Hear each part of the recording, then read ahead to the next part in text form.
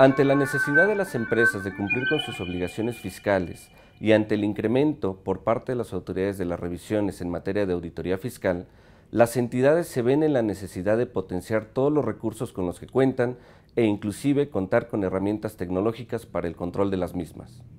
Así, nace KPMG Link 360, una herramienta tecnológica diseñada por la red global que permite apoyar a las empresas a monitorear el adecuado cumplimiento de sus obligaciones fiscales, el seguimiento de las mismas y la forma en que cada uno de los diferentes países viene atendiendo esta necesidad.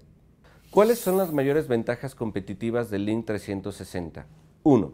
Link 360 permite tener la información debidamente ordenada en manera sistemática y que permite a todas las empresas cumplirlo de la misma forma en cada uno de los diferentes países. 2. La compilación de la información es automática, lo cual permite minimizar errores y obtener un mejor control de la información. 3.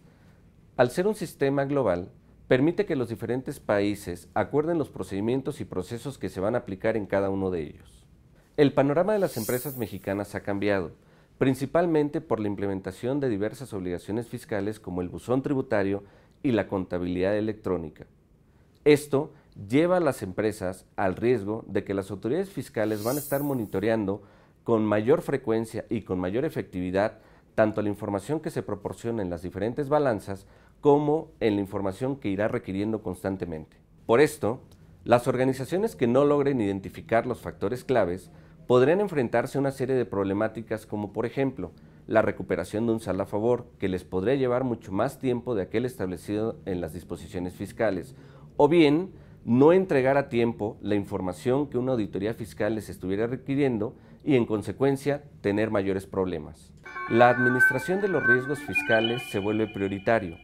Por lo tanto, es indispensable llevar a cabo muy bien la designación de las actividades que los equipos de impuestos internos de las compañías llevarán a cabo y aquellos que sus asesores externos intervendrán para poder apoyarlos. Para obtener mayor información sobre este tema, visita nuestro sitio delineandoestrategias.com.